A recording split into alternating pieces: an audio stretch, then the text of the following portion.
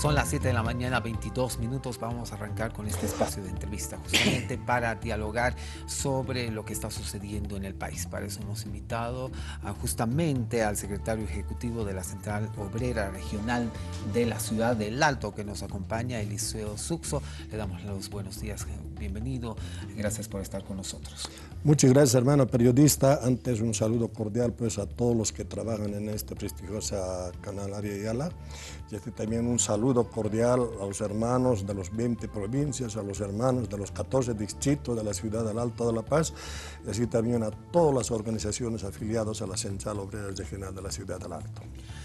Bien, hablemos justamente de la ciudad del Alto para entrar un poco en el contexto nacional, cómo eh, se encuentra la ciudad frente a esta, esta situación. Eh, han habido movilizaciones, qué acciones se están tomando desde la COR. Eh, muchas gracias, hermano periodista. En verdad, en la ciudad del Alto de La Paz, las organizaciones sociales estamos en estado de emergencia por las actitudes que han tomado los diferentes comités cívicos de Santa Cruz, Cochabamba, Beni, Tarija, Potosí, Sucre. De todas maneras, mire, hemos escuchado que hay muertos por bala, pero nosotros, sinceramente, desde la Central Obrera Regional censuramos estas actitudes que están haciendo los eh, señores de la oposición, que no entienden, que dicen solamente mm, segunda vuelta, de segunda vuelta, ahora anulación de las elecciones nacionales de 20 de octubre que ha pasado la semana anterior, pero de todas maneras eso no se puede anular. Y tampoco pues no pueden anular los votos de los lugares, de los hermanos del área rural, pero de todas maneras la ciudad del Alto estamos de emergencia y cualquier rato nosotros tampoco vamos a permitir pues que estas cosas siguen pasando en nuestra querida Bolivia. Son 11 días desde las elecciones. El 20 de octubre hemos vivido estas elecciones generales y a partir de ello se han generado bastantes movilizaciones en el país. Eh, hablemos un poco del alto, le, vuelvo a tocar este tema. Eh, han habido movilizaciones, ¿cómo se están expresando los movimientos allá, eh, los ciudadanos de a pie en la ciudad del Alto? Justamente nosotros como las organizaciones sociales de la ciudad del Alto, estamos en cualquier rato, no podemos salir a las calles, pero de todas maneras, mire, estamos pacíficamente esperando que se dé solución. Nosotros como Central Obrera Regional convocamos que depongan estas actitudes que están queriendo dañar a nuestros conciudadanos bolivianos.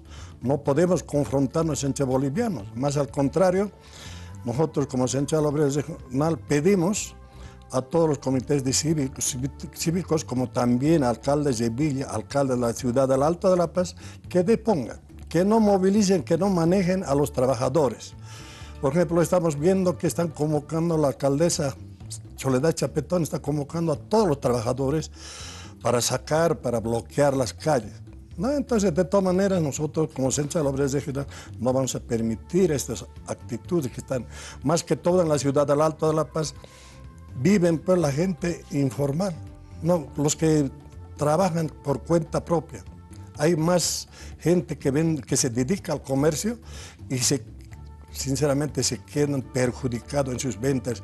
En estos días de Todos Santos todavía, miren, vienen desde el distrito 8, distrito 7, de lejos vienen a la, a la ceja al alto a venderse, a ganarse un pan del día para sus hijos, para la familia, pero de todas maneras se encuentran perjudicados los habitantes de la ciudad del Alto de La Paz. Por otra parte, vamos a hablar justamente de la posición que ustedes tienen frente a esta eh, auditoría que se va eh, a desarrollar en esta jornada. Empieza desde esta jornada y durante 12 días se va a trabajar. Ya son varios países que están participando, además eh, de la OEA que es quien encabeza junto a gobierno este proceso y además, por supuesto, todas las organizaciones políticas. ¿Qué posición tienen usted frente a este? Eh, bueno, al respecto de la auditoría, por ejemplo, han pedido hasta los de la oposición, pero nosotros también apoyamos eso. La oposición solamente ha criticado por criticar, por criticar. No ha demostrado ninguna prueba, ningún fraude.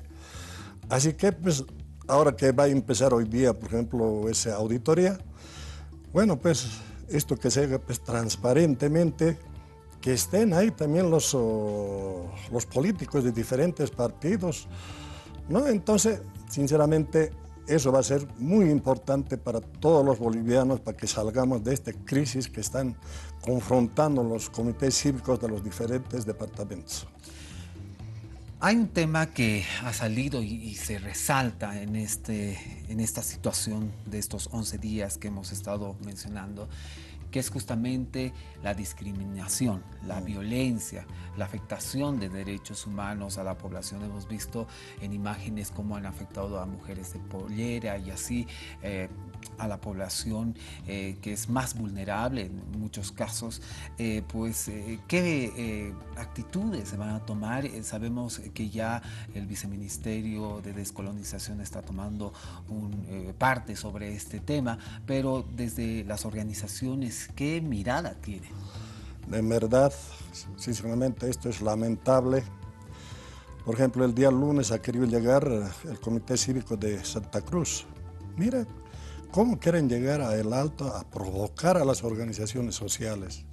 En lo cual, mire, las organizaciones sociales han sabido esto y han ido a bloquear al aeropuerto internacional de la ciudad del Alto. Pero de todas maneras, Mire, nosotros pedimos pues, al Ministerio de Justicia, al Ministerio de Gobierno, que controlen esto. Si pasa esto, nosotros no vamos a ser culpables, las organizaciones sociales vamos a levantarnos y vamos a hacer respetar también las actitudes que han tomado los comités cívicos de los diferentes departamentos, pero de todas maneras no se puede permitir. Están hablando sin pruebas, sin pruebas en la mano.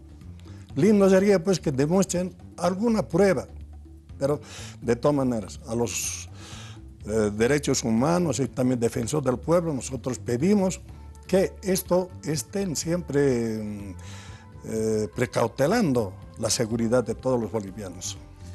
Cuando iniciábamos el programa estábamos hablando justamente eh, lamentable hecho del fallecimiento de dos personas en Montero frente, a estas eh, situaciones de conflicto que se han generado, eh, pues, eh, ¿qué posición tienen ustedes? En verdad, hermano periodista, esto es lamentable. Por ejemplo, han quemado casas del Tribunal Electoral. Sinceramente, esto tienen que ser los verdaderos culpables, Carlos, de mesa. Todo, los comités cívicos de los diferentes departamentos, porque no podemos permitir, ahora mire, ayer aparecieron dos muertos de bala, y eso, ¿quién tiene que decir, quién tiene que responder? Pues los de la oposición. Sinceramente no vamos a permitir nosotros que pase eso con nuestros hermanos bolivianos. Pues eh, en los siguientes días, ¿qué acciones van a tomar desde esta jornada en adelante? ¿verdad? Nosotros como estamos en estado de emergencia, cualquier rato también vamos a convocar a todas nuestras organizaciones, a nuestros ejecutivos de las diferentes federaciones, organizaciones, y estamos nosotros prestos para defender la democracia y hacer respetar los votos de las áreas rurales, esa discriminación que han hecho a nuestros hermanos. Sabemos nosotros, no se puede llegar a otras provincias lejanas se llega de tres, cuatro días a pie, hay que salir, hay que entrar. Entonces nosotros, como conocedores, no podemos pues estar en contra de nuestros hermanos. El voto de nuestros hermanos de las áreas rurales, sinceramente, tiene que respetarse y pedimos, siempre nosotros vamos a estar constantemente en estado de emergencia hasta hacer respetar estas las elecciones del 20 de octubre. Muchas gracias eh, por darnos eh, su tiempo, por habernos acompañado y además darnos eh, toda la información que nos ha prestado al secretario ejecutivo de la Central Obrera Regional de la Ciudad del Alto, Eliseo Suso. Muchas gracias. Muchas gracias, hermano periodista. Hasta otra oportunidad. Bien, vamos a hacer una breve pausa. Usted que nos acompaña, tenemos mucha más información.